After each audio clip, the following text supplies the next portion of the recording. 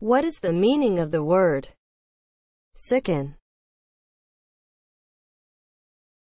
As a verb, get sick, upset and make nauseated, make sick or ill. Examples of use. The mold on the food sickened the diners. This kind of food sickens me. Sicken is spelled S-I-C-K-E-N.